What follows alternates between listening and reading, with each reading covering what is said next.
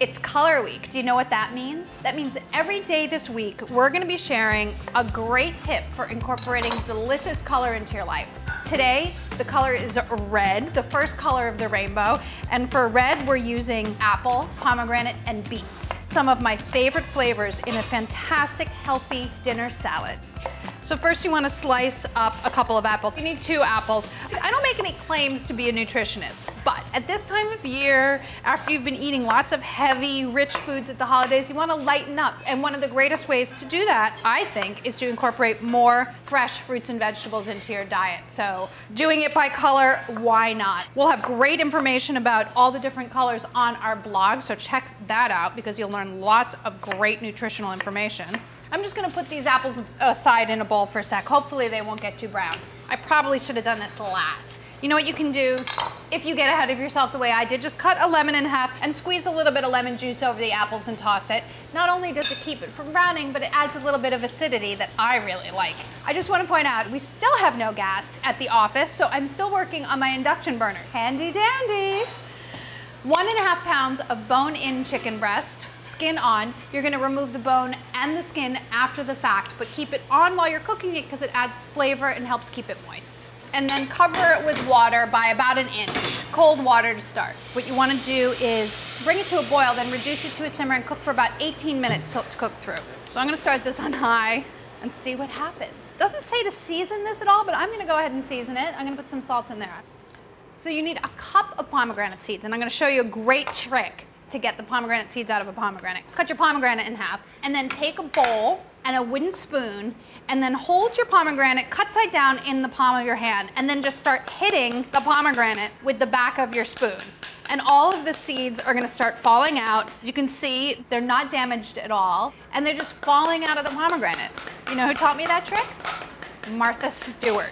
She's a smart lady, that Martha Stewart. And when you're finished, and it doesn't take that long, your pomegranate shell is completely empty. Just set those aside. The last red ingredient for this recipe are some beets. I have two eight ounce packages of pre-roasted peeled beets. To slice those up, I'm gonna put on some gloves because I don't wanna stain my hands at the beginning of the day. Just slice them however you want. You can cut them in wedges, you can cut them thinly. Takes about an hour to roast beets yourself, so we're saving you an hour of roasting time and 10 minutes of peeling time, so it's a good amount of savings. Chicken's not quite at a boil yet, so I'm gonna go ahead and make the dressing. I'm making an orange vinaigrette, so it's a tablespoon of orange zest, about a half a cup of orange juice, and a couple tablespoons of olive oil. It's boiling now. I'm just going to remove some of the foam from the top because I want a nice, clean poaching liquid. Poaching is a fantastic low-fat cooking method because you're cooking really gently in a liquid. Now it needs to cook for about 17, 18 minutes so I can finish up my salad dressing. You need a tablespoon of orange zest and then a total of a half a cup of orange juice. I always like to zest my fruit before I juice it. It's much more difficult afterwards. So always remember to zest first. I'm using a reamer to get the juice out of my orange. Just make sure you use some kind of tool that gets as much juice as possible out of it.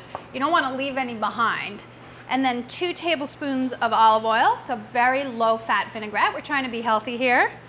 Because I have my lemon cut, I'm gonna add a tiny bit of lemon juice. It's completely not necessary and it's not actually in the recipe. A little bit of salt and some pepper. That's your vinaigrette. All right, everything is set. My chicken is done. We like to cook ours to 155, which seems a little low, but as it sits in the liquid as it's cooling, it comes up to 160, 165, and it's totally fine. This chicken that I have here was already cooked and cooled. Remove the skin and the bones, but keep the breast in one piece. And then just slice your chicken however you like. I like nice sort of half inch thick slices across the grain. Perfectly poached chicken should be juicy and tender and not at all dry. But I'm telling you, it's true that if you overcook your poached chicken, it will be dry, which seems a little counterintuitive considering you just cooked it in liquid, right? But it happens, especially with chicken breast, so be super careful. I'm gonna build this on a platter, so I'm gonna put a layer of those beets, then a little bit of that arugula, maybe some more beets, some of those apples. You get the idea, right? Seeds, what do you think, people? Are you as excited to eat this as we are here at the studio? Now I'm gonna put a little bit of dressing on because I wanna give all the layers flavor and I feel like I should have been doing this all along anyway. Then some of that chicken You can see that we have a high amount of vegetables and fruits and a kind of lower amount of chicken, and that's intentional because we want a lot of those fruits and vegetables and just a little bit less protein right now. Kind of go crazy. I mean, this is a festive moment. This is so laden with delicious red fruits and vegetables, I can barely lift it up. Start the new year right, eat your colors. Come with me. I won't lead you astray, people.